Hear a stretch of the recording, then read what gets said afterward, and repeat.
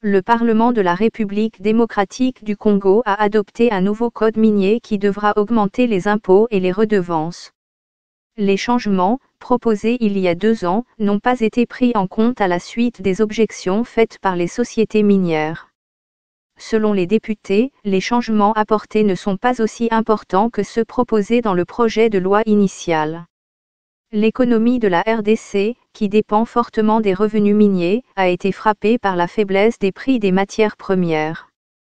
Le pays est le plus grand producteur de cuivre en Afrique et une source importante de cobalt, utilisée dans la fabrication des batteries pour les voitures électriques.